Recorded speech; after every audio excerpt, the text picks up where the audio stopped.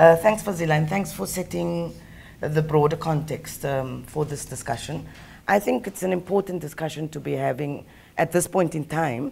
But before I get into um, dealing with the question at hand, I, I thought I might present some a, bit of the global context so that we don't completely depress ourselves. I just heard today that uh, climate change depression is a real condition, apparently. So I don't want us to be completely um, depressed about things. So in the, in the global context, there are trends emerging that should give us some hope. And I'd like to, to share some of those trends. Um, while we might not be seeing the impacts directly in South Africa, or we might not be engaged in understanding those global trends, it was interesting that uh, a Bloomberg analysis actually recently said that the race for renewable energy globally has passed its tipping point. In other words, the renewable energy uh, race against fossil fuels has taken a turning point globally. Um, that's a very interesting trend, and they're also predicting that that increasing capacity of renewable energy will continue. Uh, it's past the fossil fuel capacity by a few gigawatts. So in um, 2013, there was 143 gigawatts capacity of renewable energy uh, versus 141 gigawatts of fossil fuel capacity. 2013. They're predicting that, in fact, by 2030, four times more of that capacity will be built. And we also have witnessed the price of wind and solar plummet, and so it's becoming more uh, competitive.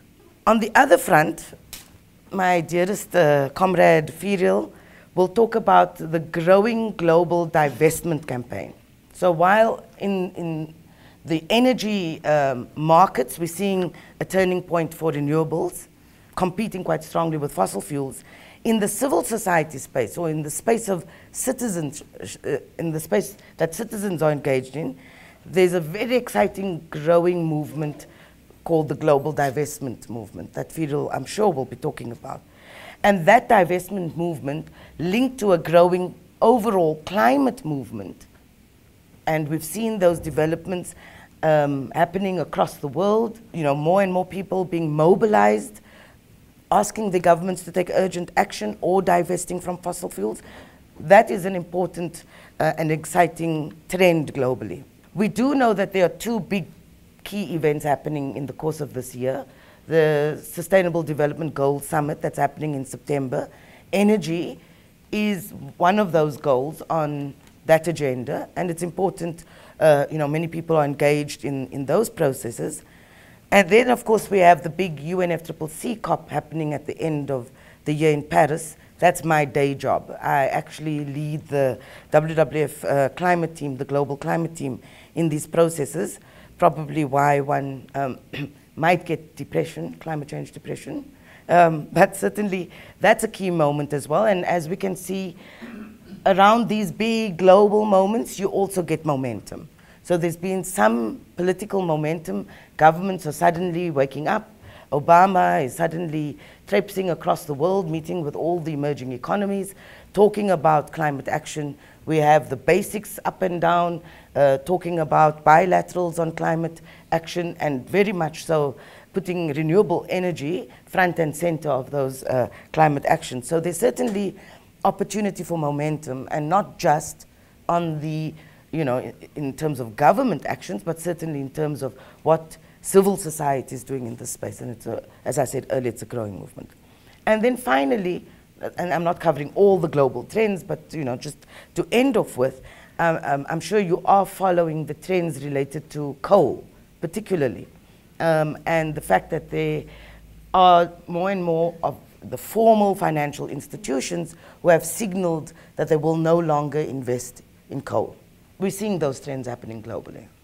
So why are we not seeing that kind of positive momentum, not highly positive, but certainly a trend that could be positive and hopeful reflect itself back home. So let me turn to the domestic context.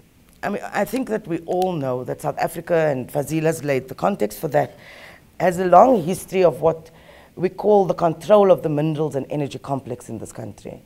And unfortunately, I would like to contend that uh, with our democracy in 1994, we have not seen the end of the entrenched vested interests of the minerals and energy complex in this country.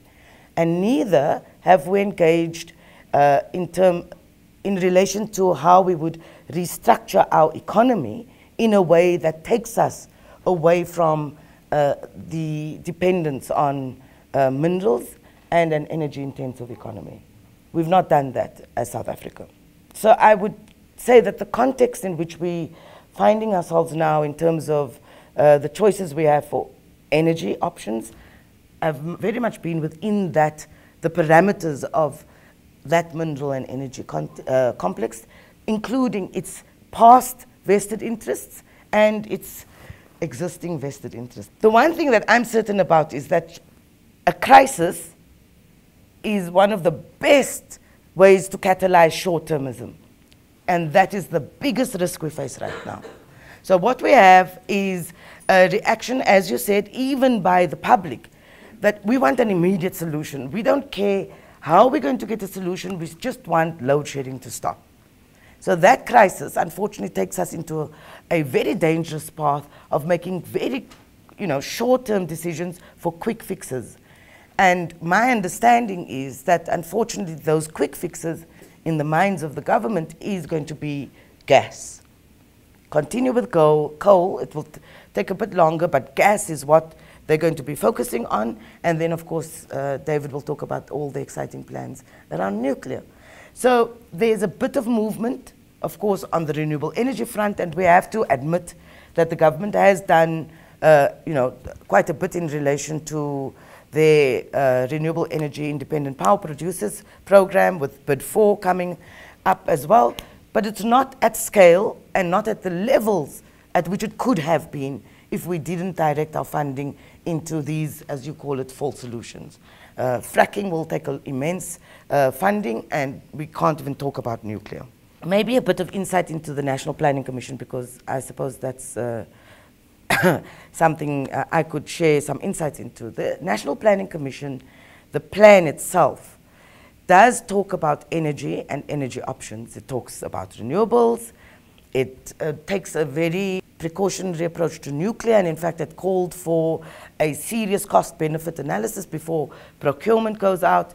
But it does go on to talk about gas as a potential game changer, I confess. Very contested discussions in the National Planning Commission around this.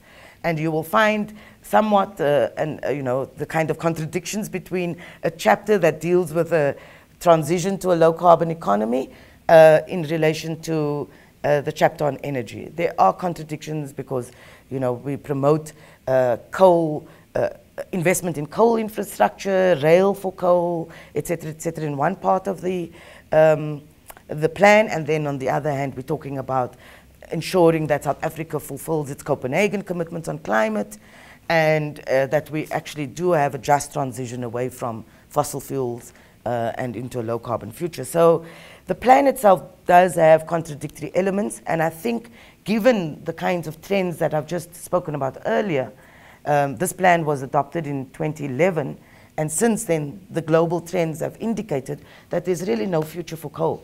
That understanding was not prevalent at the time the plan was drafted. So hopefully, th this current term of the Commission comes to an end at the end of this month. The new Commission will take up these issues again and actually just look at what the current trends are and that coal, a coal future is actually a, a meaningless future in the country. So why are the public not interested or indifferent? I would like to argue, and I'm sure again that Ferial, I hope, will be able to tell you all the good stories about mobilized society in South Africa. Yes, they might not be nationwide, they might not be, you know, this conversation's not happening every day, etc. But I don't think we should underestimate the fact that there's a growing, there has always been a movement it's not been a renewable energy movement or climate change movement or necessarily an environmental movement per se. But when people fight for basic services in this country, whether, when they mobilized for uh, health reasons against plants in, uh, in Durban or wherever, Those are struggles that have to be acknowledged as part of the overall climate struggle. And recently, um, I know that there's been a good uh, action against coal, the French funded coal plants in South Africa. So there's momentum.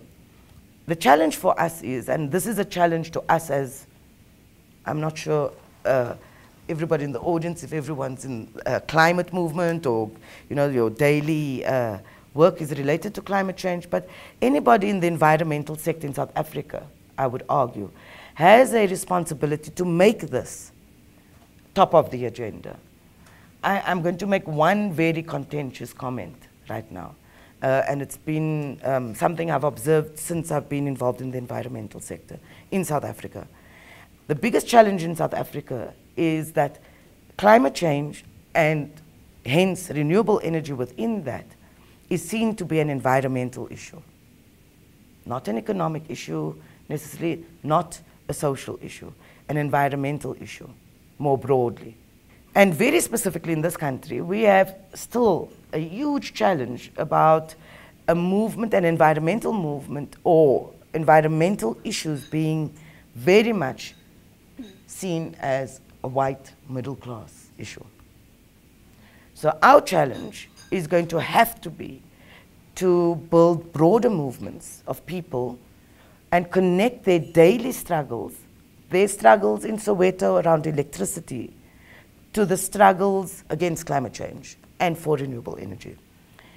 if we keep on keeping this at the level of an environmental issue, it's not going to gain any traction or credibility or legitimacy when we're trying to build a broader movement in the country. So this is the responsibility of all of us. WWF, 350, other organized sectors, of course, you play a role. All the organizations who are dealing with climate change and renewable energy in this country have a duty to actually start building wider and wider movements, connecting people's realities to something called climate change that everybody probably thinks is only going to happen after we're all dead in, at the end of the century. We've not succeeded, even though we have hosted a COP, and then, you know, the attention was there. COPs do that. And then it died down. So for me, I don't think there is an entirely indifferent public opinion. I think there is public opinion in the country. It is probably limited in its outreach, but there are wonderful signs of a growing movement, and we will leave that to the Earthlife Africas and 350. WWF isn't a very, um, we're not a grassroots. Let me just say that. We don't mobilize grassroots, but we certainly do form part of a wider climate movement. We do advocacy work, etc., etc. But it is going to take hard work in this country to get the nation speaking and the nation engaged.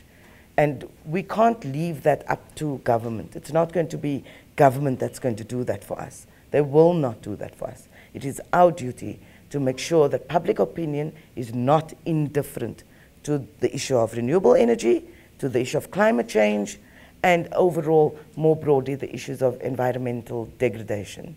I'm going to end it there um, with that, on that note. Thank you very much. And thanks for highlighting that it's broader than just um, an environmental issue. I hope that when we start unpacking in the discussion session, that we look at it more also from the perspective of the energy economy, because I think then we might be um, able to touch on an issue that the pub public cares about if we talk about the economy.